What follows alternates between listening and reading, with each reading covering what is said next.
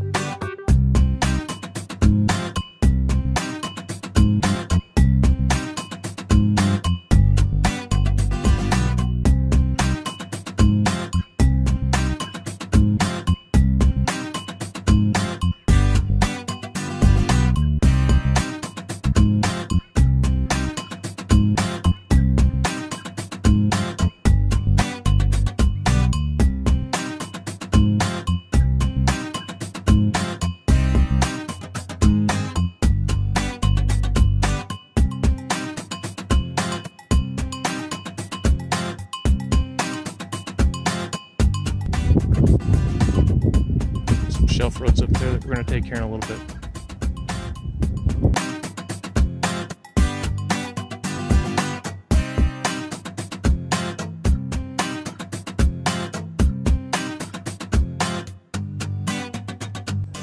So I picked up this jack cover.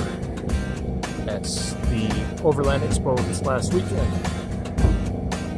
And so far it seems to be pretty good. I had to reposition my mounting here so that it would move this up, which is good because it puts your weight between your two mount points.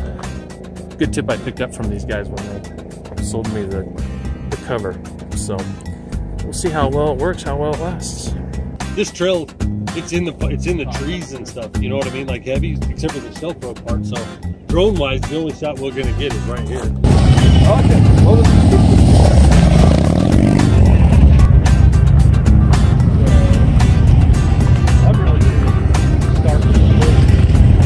These static tire deflators are really convenient. Got four of them, one on each tire.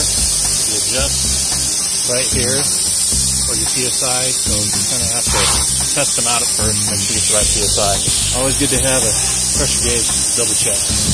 If you put them on, if they're not going, you pull on that and it gets going.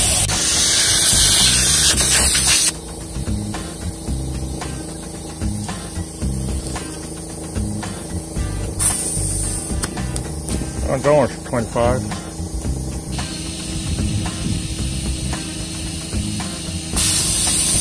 Gotta be careful with these, they can come uncalibrated. Double check them every time you use them. I see that one shut off on its own? Because it's at its set amount. To stop.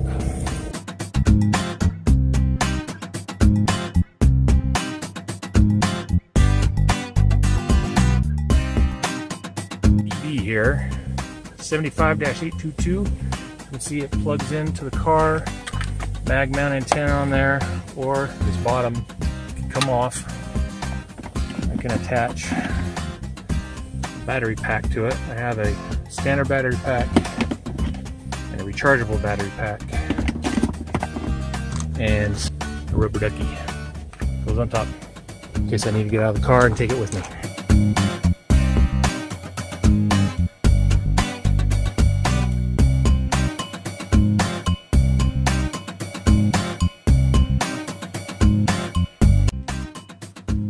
Yeah, I just those cheap ones are kind of hit and miss. I'm not sure which Well, one is the, going to work. instructions, Oh, broken English. Like, man, if you're gonna sell a product in the United States, come on, get somebody who speaks fluent English.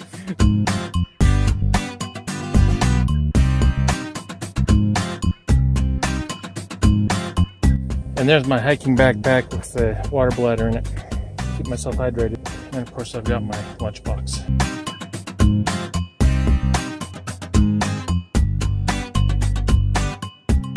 I really need to move this probably to the back so that my kids use it more than I do. Still a good mount. Works pretty well, as long as it's connected to something solid.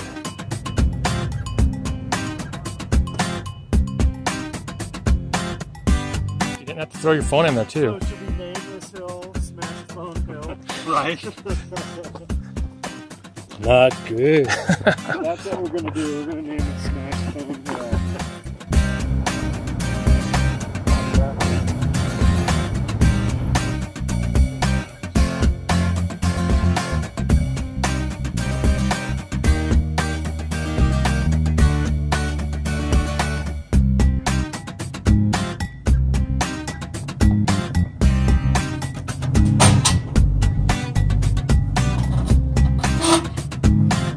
Found the rock.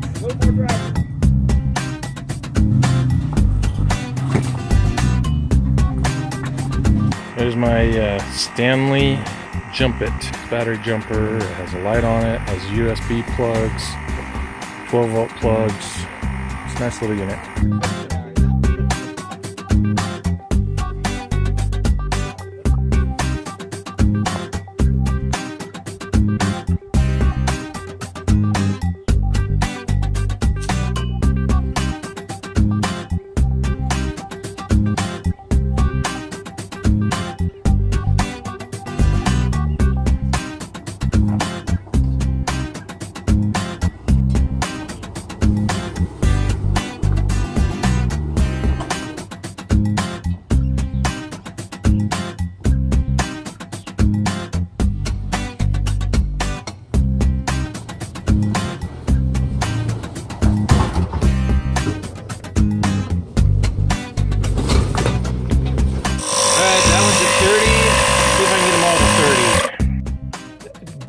Reaches when my thing is up at the top.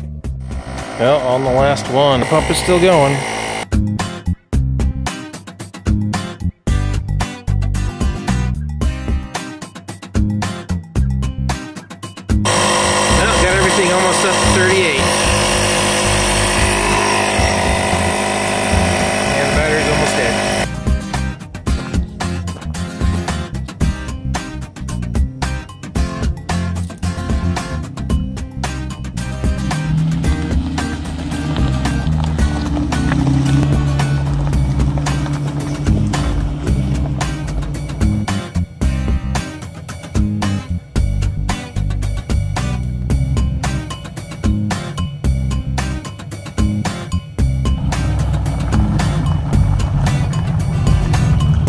You made it.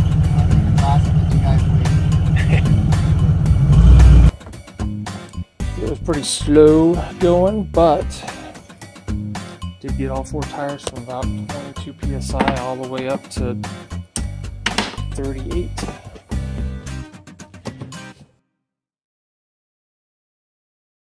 Well, they grow uh, grapes around here, don't they? A lot of grapes, actually. The uh, Jerome has a couple of vineyards as well, but over in Cornville, there's quite a few acreage out there. That just doesn't seem like the right climate. It's the elevation and the soil that makes it happen. So we were actually passed by on the on the way up the hill into Jerome. Uh, you can't quite see it, but Maynard Keenan from uh, Tool, the lead singer of Tool, has a vineyard that's just uh, as we get into Jerome. And you, if you take the first little right, you go down a little street, and he's got a house back there with a little tiny vineyard. And then um, in Jerome, the name of the tasting room is Caduceus Cellars. Big mansion up there, or is that uh, some other type of structure? That's the, uh, the full story on that. It was originally built as a hospital, was uh, actually the most state-of-the-art hospital this side of the Mississippi River. Uh, and then when the mines closed, they got got closed down, and then a few years later renovated into a mental institution. Uh, some horrible stuff apparently happened there over the years, and then it closed down again. And uh, I don't know, maybe about 10, 15, 20 years ago, was repurchased and renovated into the Grand Hotel. And uh, there's a little restaurant that's on the side of the building. It's called the Asylum Restaurant as an homage to the history of the building. Well, I don't know if I'd want to say was certainly kind of a thrill seeker sort of thing. It's supposed to be one of the most haunted places in Arizona If you buy into that stuff, you can you can certainly go and do some ghost hunting there. Uh, they actually have had quite a few episodes of those uh, like ghost hunter shows that you see on TLC. There's been three or four of them filmed there. I used to have a buddy that uh, was a manager up in that restaurant. I went up there one time and gave me the keys to the service elevator and let me and my girlfriend go walk around the halls in the hotel. Talk about creepy. Definitely one of the creepiest places I've ever been.